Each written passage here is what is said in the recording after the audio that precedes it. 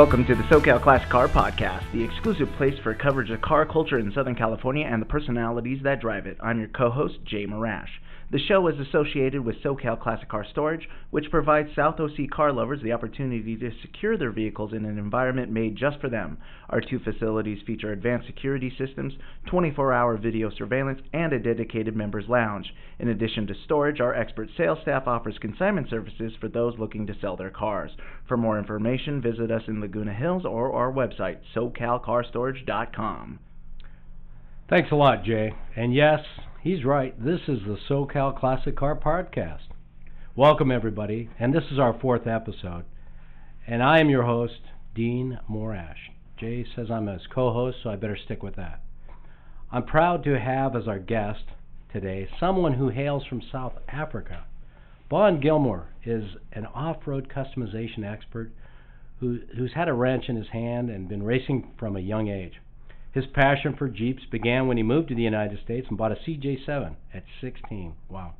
However, the United States was not quite wild enough for his love of overlanding, so he moved to Australia at 22.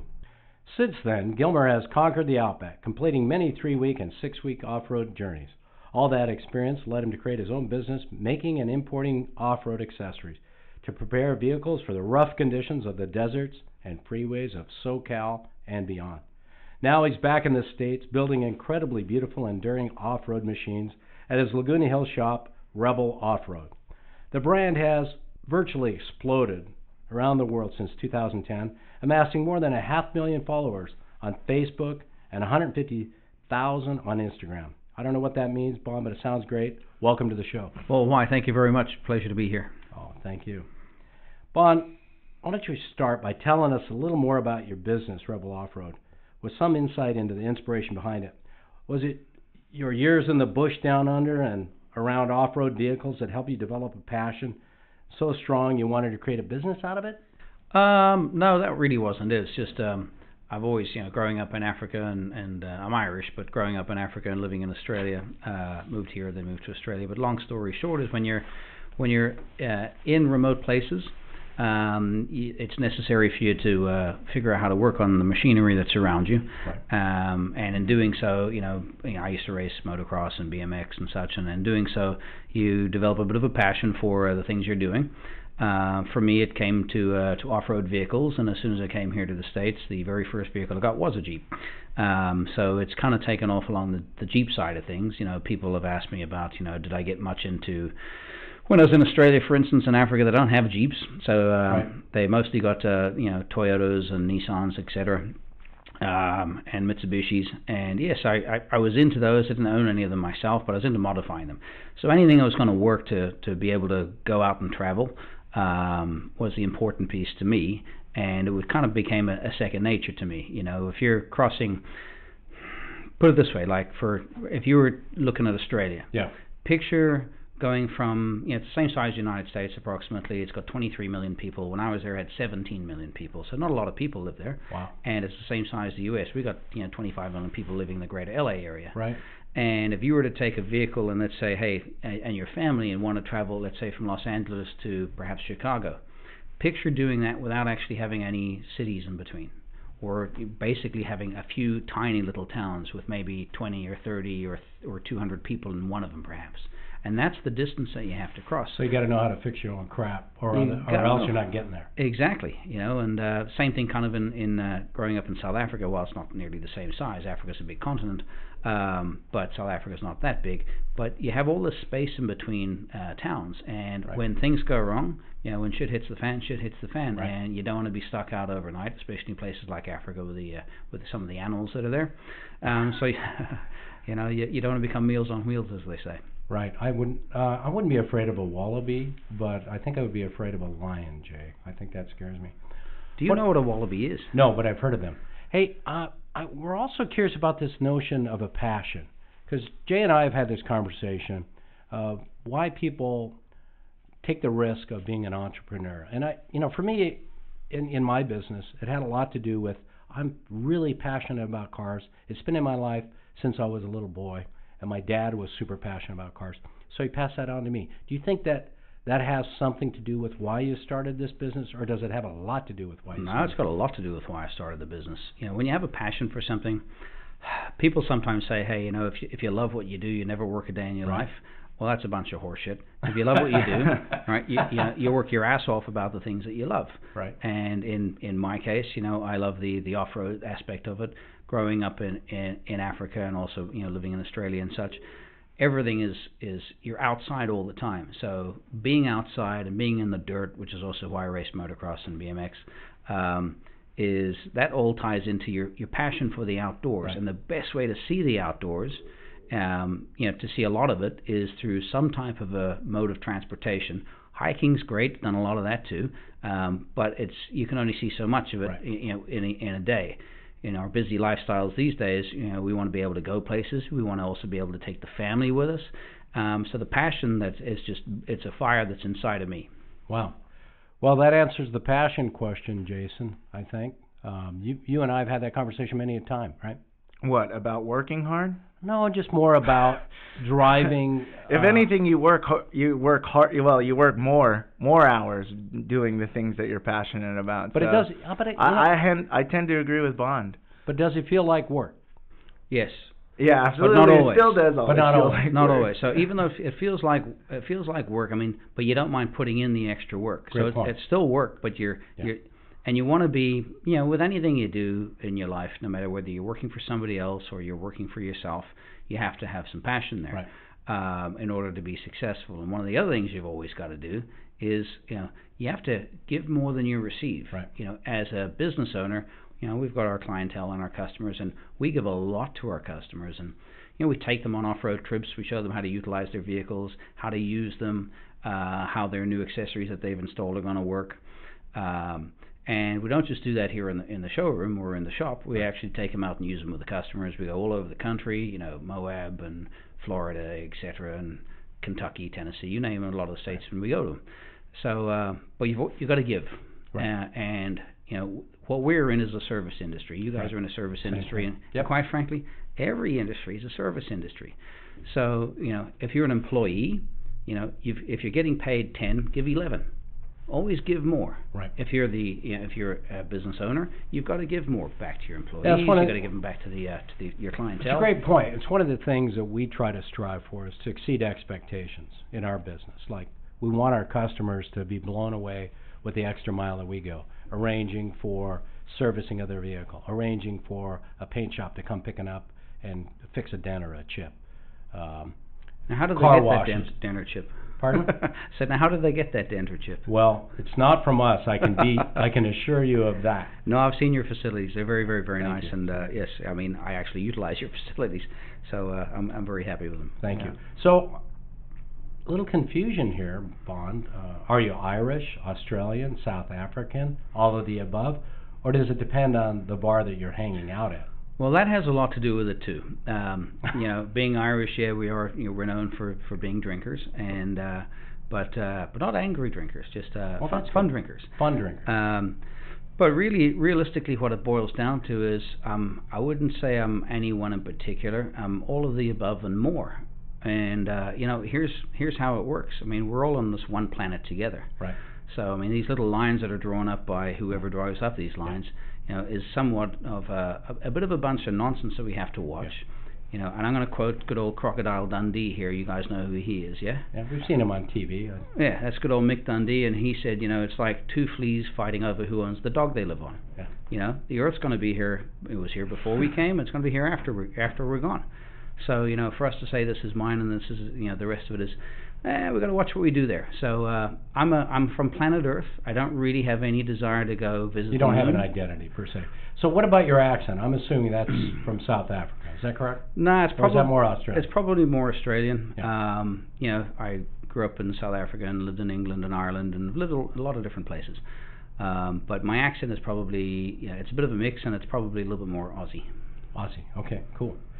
So I am intrigued about a lot of parts of your business, but the one that really fascinates me is one that I haven't had a chance to participate in, and that is uh, the events that you go to. These places like Glamis and Calico and Oc- Ocotillo Wells. It appears that like these cities pop up overnight at the right time of year, and all these jeeps and off-road vehicles invade the place, including uh, suppliers like yourself, and you guys are there, like you said, to help your clients learn how to use the gear.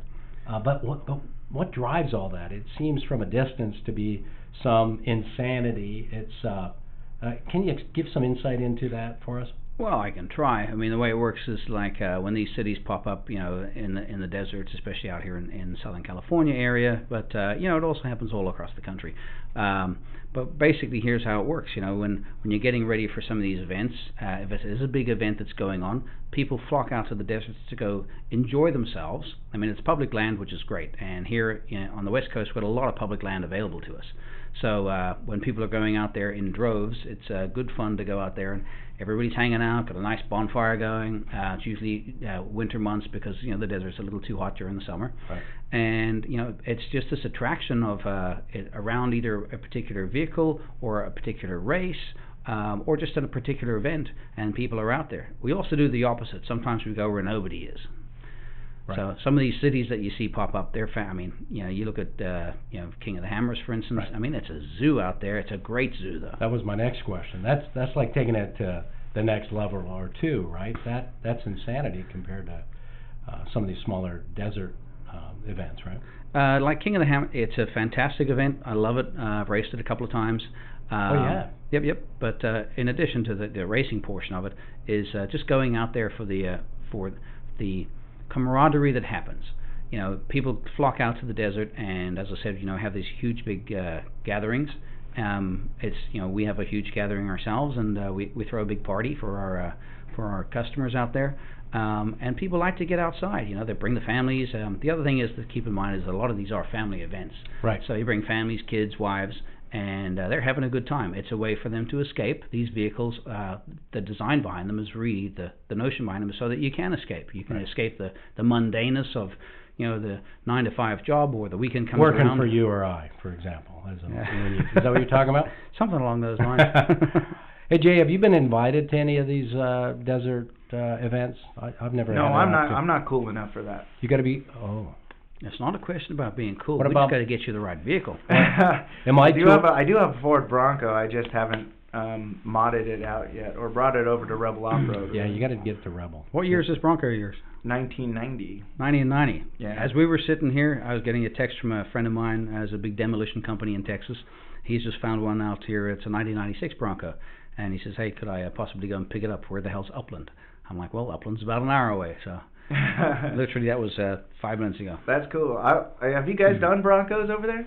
We've done some Broncos. Um, the majority of what we specialize in is the is the newer Jeep vehicle. People are flocking towards those for a whole bunch of different reasons. You know, how they drive, how they behave. You got space in them now. Sure. Um, that kind of stuff. A lot better technology than a. Yeah, there's a lot of technology built in. A lot of technology built into them. I mean, you can get them with lockers and you know load transfer cases, et cetera, straight from uh, straight from Right. the dealers. Yeah. Well, what is King of the Hammers like for those who haven't been there? Um, so Seems like a really picture fun time. picture Burning Man probably times ten. um, for those of you who haven't been to Burning Man, uh, Google it, I guess. Yeah. Be- Watch what you might see there. Burning Man Um, times- so there's more lawlessness out no, there. no, no, it's not not Is not that a modern day commune, Burning Man? Is I- that I- really what that is? I, I couldn't tell you. I've actually never gone. I got a I lot haven't of either. got a lot of customers that have gone, but uh, I haven't gone. But you know, King of the Hammers because the race is on, and the race is over. Um, there's multiple races uh, that the King of the Hammers has. You know, there's King of the Motos for the motorcycles. There's what's called the Everyman Challenge. You know, the Ultra Four class, of course. Um, that's the big boys and the fully modified anything you want uh, vehicles. And uh, they race them on different days. And as well as that, there's qualifying. Uh, last year they brought out uh, some trophy trucks to run the trophy trucks in a in a, in a slightly different uh, class, if you will. Um, so there's and each day there's different activities. In the nighttime there's a there's a real tough. The the trails out there, I'll warn you, come with some strange names. Right, one of the toughest obstacles out there that they hold an event at is uh, called the Backdoor Challenge. And uh, yeah, so it's actually the obstacle is called backdoor. So it's to try and climb up backdoor, and and basically uh, you get people coming from uh, all different that are competing in the backdoor challenge. Might come out from you know you get the the rock bouncers from the East Coast coming out to to see what that's going to be like. Um, they get invited out, and then you got the Ultra Four guys. Uh, you know these rock bouncers are on 54 Are these inch people tires. from uh, around the country, or are they actually coming from around the world? What's the what's the reach? So, uh, King of the Hammers itself Yeah. is is really from around the world. You get people from all different countries coming down to race it. Yeah. Wow. Wow. Sounds like something Hunter S. Thompson would write about. What is what exactly is that uh, backdoor challenge? So can you describe that? So the backdoor challenge is uh, there's an obstacle called backdoor. Now the trails out there have got all sorts of different names. You know, one of them's called Chocolate Thunder. You know, uh, don't ask me how these guys uh, came up with the names on these on these obstacles. Yeah, right. another, another one that's way on the back side of the mountain is called Spooners. You know, and the way the Spooners got its name was it gets cold out there, and it's a tough, tough, tough trail. Yeah. And uh, you know, it's, uh, two people, you know, one one of the vehicles broke down out there, and uh, the two guys had to, uh, in, the, in in order not They to had to freeze to survive death, the night. they got to do what you got to do. Yeah, you got to do what you got to do.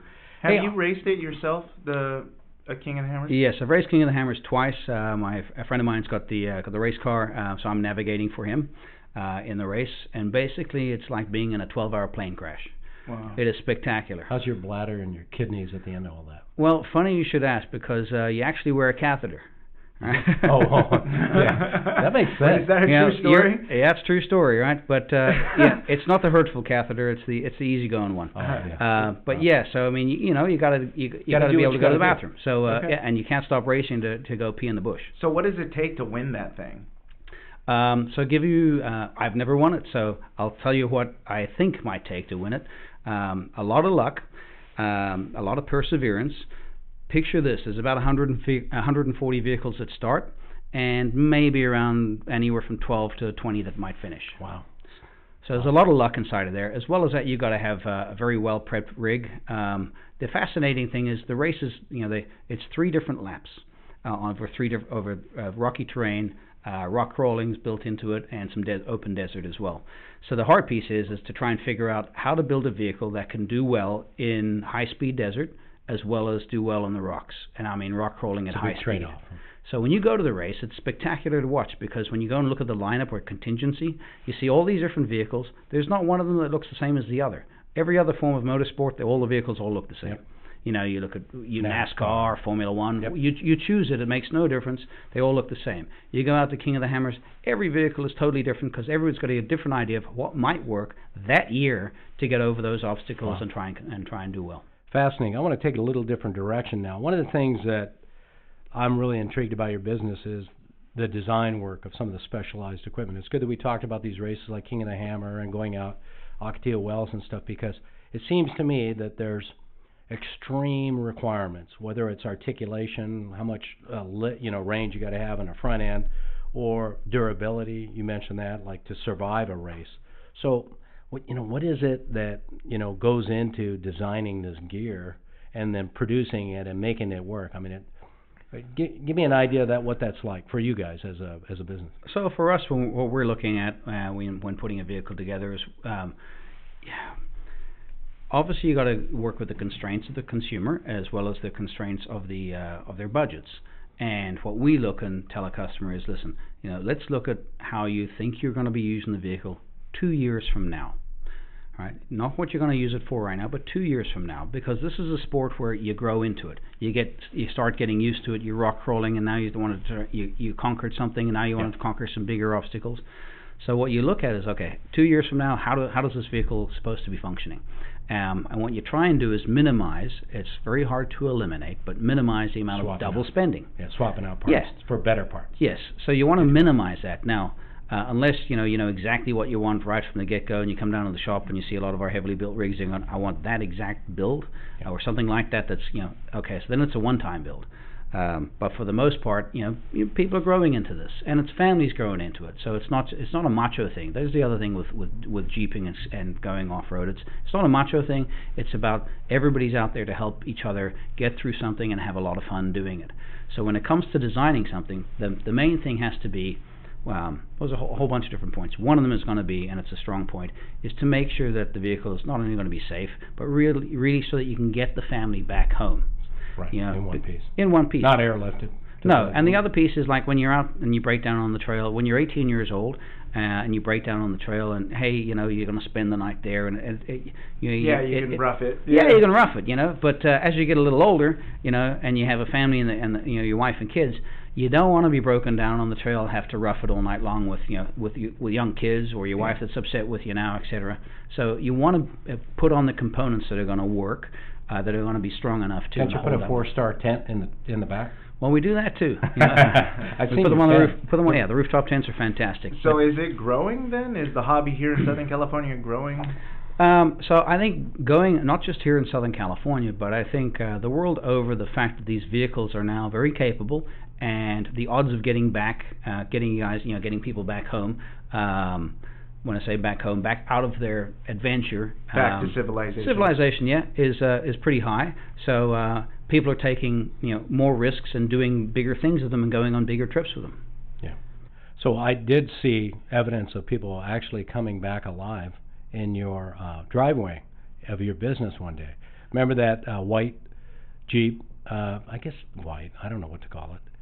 But uh, the guy flipped it. Remember, he was going over that uh, Oh, we've had feature. Yeah, we have and- quite a few. But he had his wife and his uh, And his daughter. Yep. in in the vehicle, hmm and it came back. And you know, honestly, there were a few bent pieces, but the roll cage and everything did exactly what it's designed to do. And I thought to myself, there is no way I'd subject my family to that. But that's kind of what this is all about. It's part of the adventure. But if if you're if you're feeling, you know, if, if you and the rest of the people that are supporting the industry are getting to a point where you've got confidence, like modern day cars and, and race cars surviving these horrific things, then it, then safety is, is much more achievable, right? Uh, it is, When and of course, happens. the way these vehicles are built, and especially when you put roll cages inside them, um, they make them very safe. And you know, the the key thing is, of course, wear your sa- wear, wear your seatbelt. Um, that's that's the number one thing is you got to be wearing your seatbelt because Right. even when you know rock rolling, you might roll slow, it's still a roll.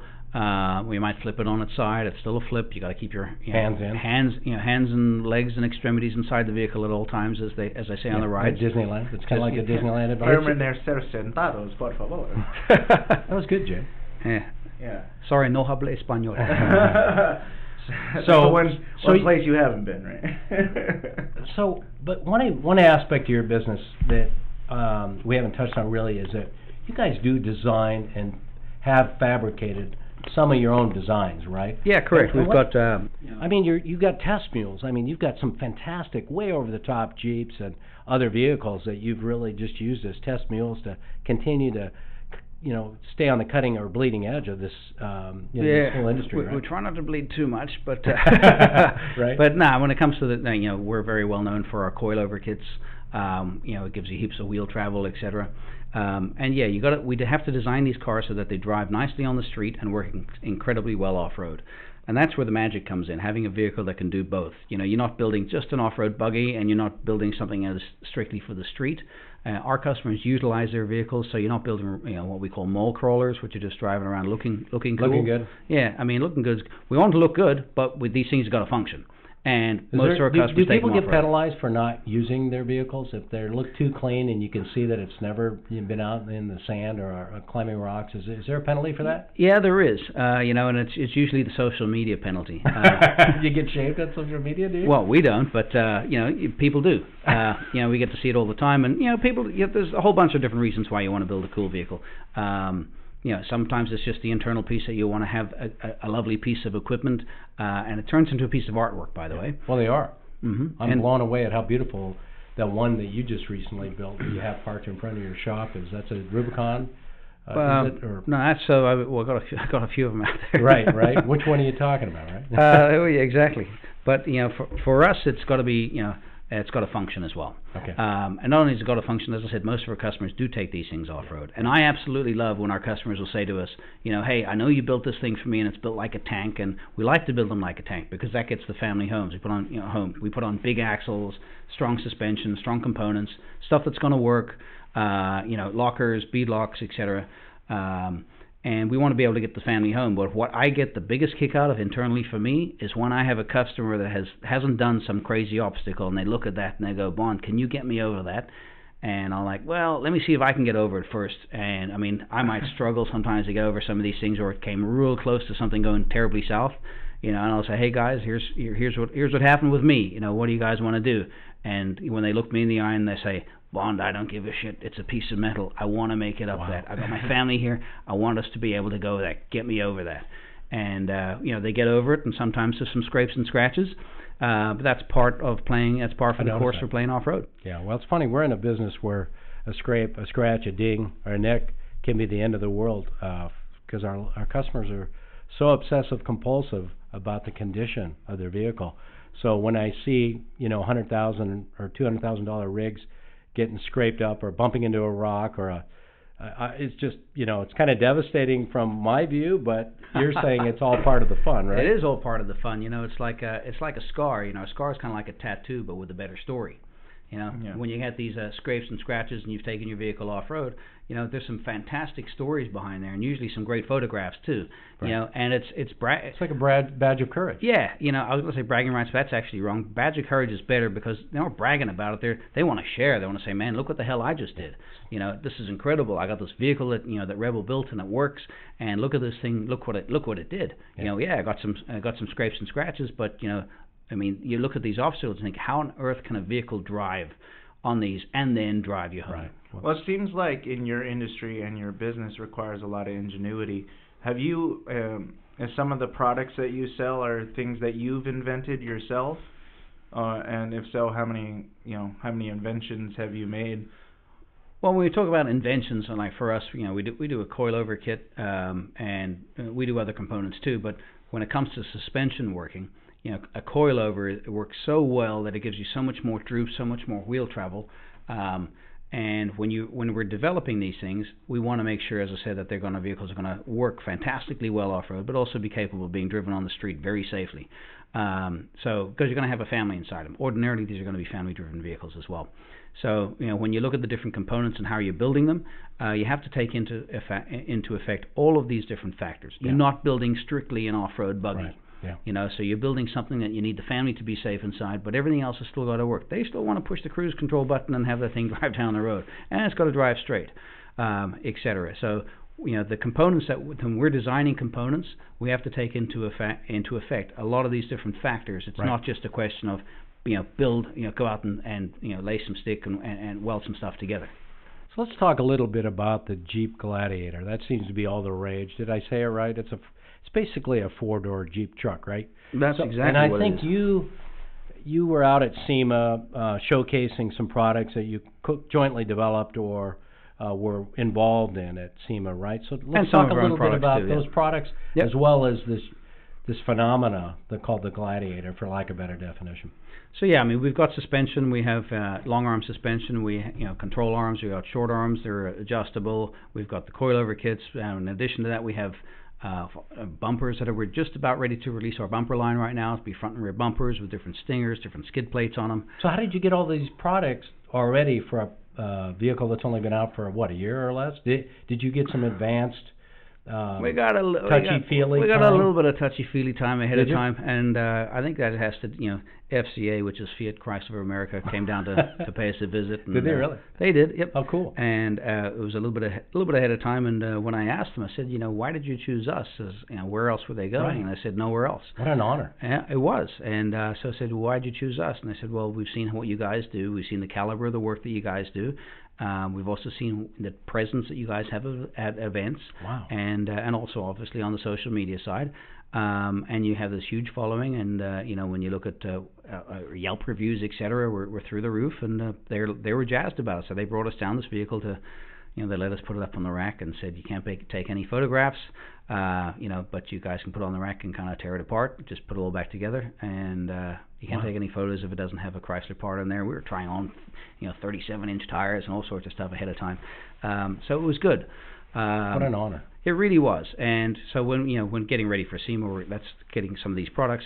With the Gladiator, it's a it's a Jeep pickup truck, and uh, what's nice about it is it's got some space, and you've got this solid axle in the front. Um, you've got coilovers, uh, sorry, coil, coil springs and shocks in the front as well as in the rear, so it gives you heaps of articulation. You know, a lot of the other cars are independent. A lot of their uh, trucks, SUVs are, are IFS or independent front suspensions, so you get limited travel out of them. You know, to fit a tire onto you know some of the other vehicles like a Toyota, if you're trying to squeeze a big tire on there, you know, to fit a 33-inch tall tire onto a Toyota, you got to do some work. It's you know got to get a, at least a few inches of lift on it. To fit a 35 on a Gladiator, you just bolt it on. Wow. You know, to put a, fit a 37 on there is a two-inch lift, and it's an easy lift. You know, to fit 40s, you go bigger. Um, but so, So it's is it safe to say that you know these companies like Jeep, like Chrysler or FCA, are learning from companies like yours and your customers to develop their products to be better capable of modifying for off-road? I mean, it sounds like what you're saying is it they put that front axle, solid front axle on there for a reason. Right. Yeah, you know, there, there was talk about uh, possibly when this vehicle was going to be released, you know, it was going to have a, an independent front, um, and I think uh, the, you know, the, the true believers when it comes to a solid front axle, it's kind of hard to beat. Um, you know, when you look at a vehicle that you can drive on the street as well as uh, as off-road, you know, an off-road vehicle that's got long travel like a like a trophy truck or something, that's different. You know, you're not driving that thing on the street. Right. Uh, but uh, on if you compare it like the the current vehicles that are out there, you know, the, the Fords, the Chevys, uh, Right. the Toyotas, etc. Jeep's got the solid axle, and that's such an such a an important piece when it comes to modifying the vehicle. So I think what happened with good old uh, with with Chrysler, uh, you know, FCA. Um, the Jeep is the most highly modified vehicle on the planet Right. and you know the Jeep Wrangler especially, and the, the Gladiator is a Wrangler front with a with a truck bed on the back, um, so it's a little longer, uh, 100 and you know 36 inch wheelbase, uh, but the long and the short of it is it's a Jeep. So uh, they have come out with a whole bunch of different off-road accessories themselves, Of course. lift kits. Um, they've got uh, you know you, you name it. They've come out with half doors, tubular doors, all of these types of cool things, roof racks, etc. That you can bumpers, win, uh, well, not the winches, but the winch plates. Um, that you can now you can buy factory ones From from, the dealer. Yeah. yeah. Now the aftermarket is of course um, a little bit ahead of the game when it comes to more hardcore components. Um, you know, because they're not trying to mass produce and they're producing for a, a, bit of a niche market. Yeah. And you and your customers are really a niche market, like ours, right? Yep. I mean, is that how you look at your market? It's pretty yeah, it, it is very niche, um, and doing the right thing is always, you know, always going to be uh, paramount because you know you, you are in such a niche, niche market. Right. Hey, I want to uh, talk a little bit about your brand. Um, the reason why I bring this up, it you know, we, I put a lot of thought into building our brand before we launched the business at SoCal Classic Car Storage, and and I know what goes into the effort that it takes to promote it, protect it, uh, kind of revise it as you grow. You know, so so got a lot of, I have a lot of um, just just you know, you know, a passion for that part of the business because I'm an ex-marketing guy. So I look at Rebel Off-Road and I see a really strong brand. You somehow have made it cool for customers to put your brand on their vehicles. So to me, that's really part of your secret sauce from the outside looking in because I'm as ignorant as they come when it comes to off-roading. But that's brilliant. Your brand is so cool that people want it on their vehicle when they're done modifying it with your stuff. So tell me about it was there some genius there or is that Well, uh, I wouldn't say there's any genius there, but going back to one of the questions you asked in the beginning, when it comes to being you know enthusiastic about what you do, right? um, that bleeds over. So it bleeds over not not only from me, but all my staff. All of my staff are enthusiasts. They're off-road enthusiasts. Um, so that when we get somebody coming in and we and we build a vehicle, I mean. It, yeah, I, mean, I might have you know seen the you see my facility. I might have you know 20 to 32 vehicles there in a day, Right. but every single one of those is unique, and every single one of the owners of those vehicles are unique. And you know we get excited no matter how big the build is or how small the build is, because this is somebody that's going to be enjoying what we do. Right. And when you're enthusiastic about something, uh, that enthusiastic about it, that has a, a massive draw. So I wouldn't say that it's you know some marketing genius because it really isn't. Uh, from the outside, it might appear that way. From the reality and the inside of it is, it's just us being us, us being enthusiasts, uh, loving what we do, and helping the customer understand that they can love this too. And helping each customer understand it's not a question of you know seeing one that's built to the hilt and going, oh, you know, I could never get that. Right. It's not a question about never get that. It's like start using the vehicle off road, and you'll start to love going off road. And when you start to love going off road, we know they're going to keep coming back to start doing more things. So each it- build is- is, just so enthusiastic. sorry. Is it safe to say that some of your customers feel like they've joined the family uh, of this Rebel off-road community? I think it's I mean, more than safe to say way? that some of them, I think the majority of them feel that way. You know, we've I would even got so. some of them have gone out there and you know get rebel off-road tattoos, and you know I'm Wow. thinking, whoa. You know? Jay, do you have one of those yet? Um, he's lucky. Um, No? When did I go out drinking last? oh, but it's not on the back. You know what I mean? But Yeah. Rebel Off-Road tramp stamp. All right, well, let's not go there. But, let's not uh, go there. yeah. And if you have one of those, I don't want to see it. yeah, not today. Come on, anyway. I want to be on. Maybe the if we go to Instagram one of the. Irish bars that he frequents, we could maybe we could talk him into seeing some of this. I don't know if that's Irish. But Well- it might be a South African bar. But Yeah, it, you know, it, it doesn't really um, matter how it's evolved, but it is a very strong brand, whether it's a conscious effort on your part or, like you said, more out of the, the passion for sharing uh, and caring about your customers uh, and their experience. The majority of it is uh, strictly out of the passion. Um, we have to guide it sometimes, Right. but uh, it's it's 99% out of the passion and the enthusiastic staff that we have, and the enthusiasm that we put forth with every single customer's build, uh, or even if they're buying parts from us. I mean, here, you know, people that say to us, "Hey, what sets you guys apart?" And it's pretty basic, I think. Um, from our from our standpoint, is you know, let's say we get an online order. It's not just a question of processing the order. Right. We've got 40,000 products online, but it's not a question of processing the order off the off the product goes. You know, we'll pick up the phone and, and ask the customer, hey, so tell us about your vehicle. They're going to start uh, having a conversation with us about it, and we might say, hey, you bought that part, but that part, there's a better part than that. You know, it might cost more, it might cost less. It has nothing to do with the cost.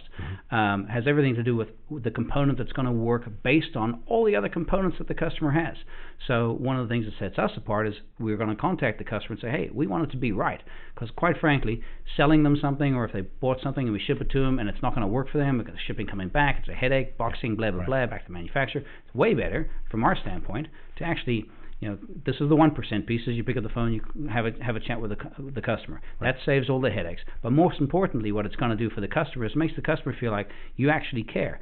And the best part is we actually do. We Wow. want to get get to know these customers. I mean, when I get customers say to us, "Hey, you know, how much more money do I have to spend before I can get a Rebel off-road decal on my car?" You know, and when they, I mean, I it's it's kind of a funny thing for somebody to say to me, um, but it's it's it's so true. And and you know, here's the way I I work. When I've got customers that are, out there, if my guys are busy, I'm out speaking to the customers, and the customers will ask me, you know, I'll walk them around and show them different things, and they'll say, how much is this? How much is that? I actually don't know the prices, and I tell them I have no idea what how much it costs. I said I know the products that you need for what you've just described Right. you want to do, so we'll build it that way. We'll go inside and figure out what the what the costs are, and see if we have to break it down or what we got to do. But most importantly, it's got nothing to do with cost when I'm talking to you because Right. I have no idea how much almost any of the stuff costs. Well, the good news is I was able to get a sticker just by asking, Jay. So I think either I've got a lot of pull, or I didn't think to ask well, you about did how get much a it new cost. Jeep. I do have a new Jeep. So, Is that a Jeep? ouch. You know what?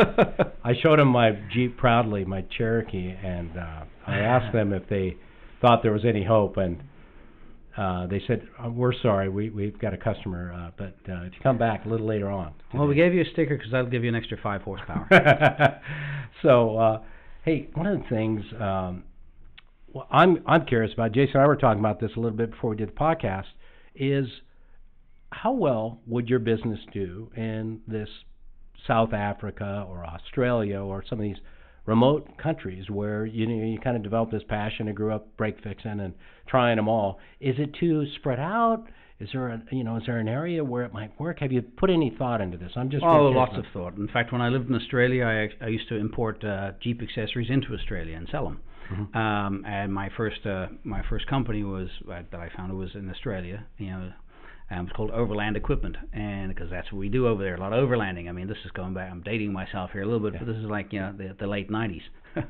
so uh, I've been in this, you know, I've been in this arena for a long time Right. and love what I do. Um, but in, in looking at it, so how well can things work overseas? There are limitations with overseas. Out here in America, you know, uh, we have the ability to take a vehicle modify it and drive it on the street. Uh, in other countries, you know, France is very tough. Now we do business in lots of different countries too. So we sell products to different off-road shops.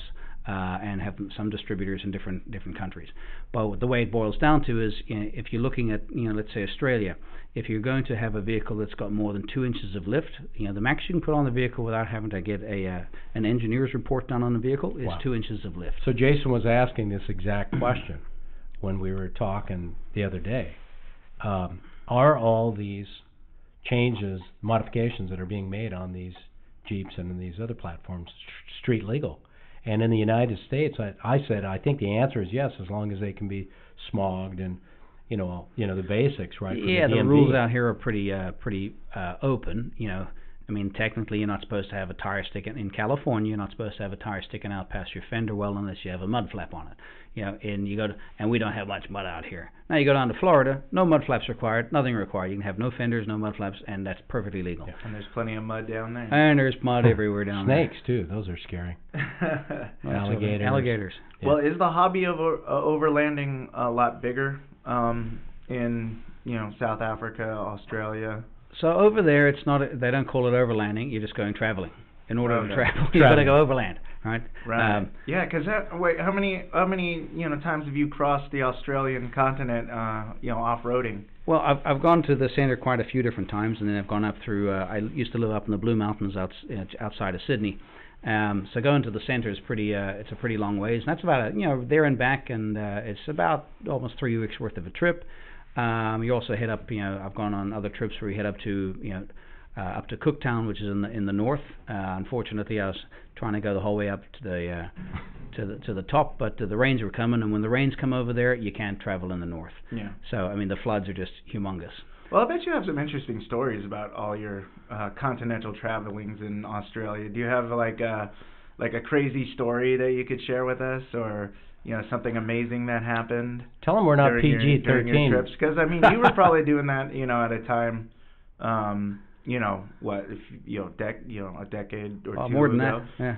Yeah, so the technology wasn't what it was. you weren't so I born bet yet, you, and he was doing I it. I bet you Jay. found yourself in some, you know, hairy situations. I was just wondering if you could share with our audience, uh, you know, maybe a story about that. Ah, well, actually, I'll share with you a story that happened here in the U.S. You know, talking about, um, Cool. Uh, you know, you can still get stuck, even you know, you can still find the middle of nowhere even out here. Um, I was uh, down near San Diego. This is back in uh, the mid '90s, and uh, had my Jeep and uh, had my girlfriend at the time, and I, you know, was just dating her. I think I, I must have been early '90s actually. And uh, I said uh, to her parents, I said, hey, you know, we're going to go camping, just going for an overnight run, and uh, didn't come back for six days. Um, and although it sounds like a good time, what happened is they called the cops. And well, they uh went. This is of course before cell phones. I think it was like '91. This Right. happened, and uh, you know, got uh, we're off roading, uh, jeeping, and uh, you know, broke the front axle, knuckle broke off, and we're out in the desert. And this is you know, I think this happened on a Monday night, and they were supposed to be back on the Tuesday. And uh, long story short is we were stuck down there. I uh, uh, literally it was six days. Uh, we had passed a, a ranch house that was about uh, well, we had to walk back to it. So it was about an hour's walk back. And each morning, what we would do is because I was working on the Jeep that was now stuck in a huge hole with the with the axle broken off, and I'm trying to fix it. And uh, you know, not too many tools and ratchet straps and everything else, and uh, high lift jacks. And long story short is we had to hike every day over to this uh, this this farmhouse that was all boarded up. They did have some chickens, and I didn't want to eat the chickens because you know they're not mine, but we did take the eggs. And every day I was living on myself and the girlfriend at the time were living on just nothing but eggs, Chicken eggs. chicken eggs, right? And I'll Were say you eating- wild were chicken you eggs. eating them raw, or was it hot Well, enough to cook on the rock? No, so I, we you know we'd been camping so but uh, by day four uh, we're I'm exhausted. I mean digging for days trying to get this thing out of the predicament that we were in. And uh, by day four I was so exhausted. Day five and day six I just took the entire uh, chicken egg and shell and all stuck it in my mouth and was was crunching down on it. And that's you know. I was uh, We're finally made it out of there, and that's only like a you know call it about two hours from where we are. Yeah, It's amazing. Well, it sounds like I uh, feel- that was pretty tough mentally there. I think we're just fortunate to have you in our studio today, Bond. I mean, that could have been the end of you. Uh, it could have been, I'm- you know, it I'm could have been the end of surprised, some uh, chickens too. I'm It's getting surprised close to that. pa- I'm surprised parents didn't kill you. I mean, you're here, you survived somehow. So yeah, these things happen anywhere you go. You know, it's uh, it's just that you know that's that's one that obviously sticks out, and you know, it's not an overseas story, but it's like the same thing can happen real close to home. Amazing. Yeah. Yeah. Hey, so um, why don't you tell folks that are listening? We're going to go ahead and wrap it up, but tell folks where we can, everybody can best contact Rebel Off Road.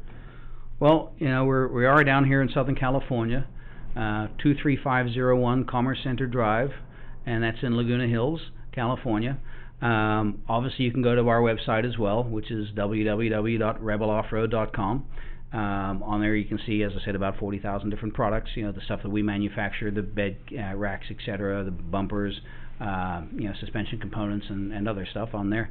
But uh, that'll be the best place to go see us. Or actually, if you're if you're in Southern California, come on down and pay us a visit. Because quite frankly, you haven't seen a showroom like ours, you haven't seen a facility like ours, and it doesn't matter where you go in the country. When we get people coming out here for SEMA uh, and other shops, and they come down to see us, and they're in shock to see what our facility is like. It's a you know, it, it's very different. Uh, the caliber of the vehicles that are there are through the roof. Awesome. And everything for you to see.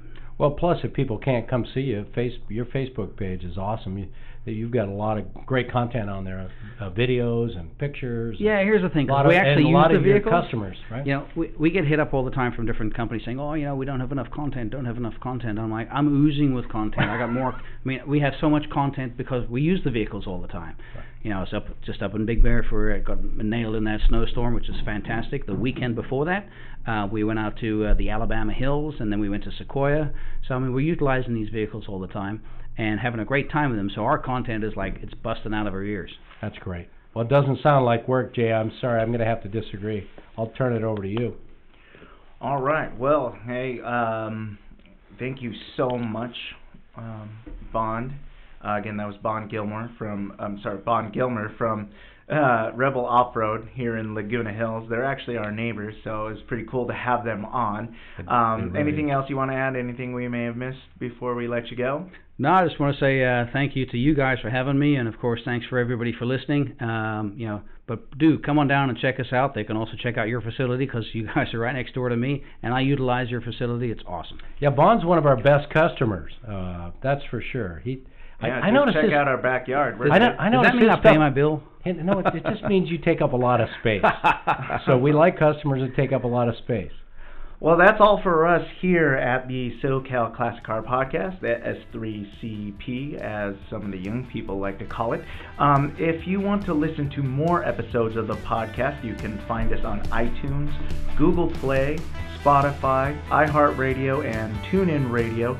All you have to do is just look up SoCal Classic Car Podcast, or you can go visit our website at socalcarstorage.com forward slash media to look at the current episode and also previous episodes. Anyway, this is the SoCal Classic Car Podcast. Thank you so much for stopping by and happy driving.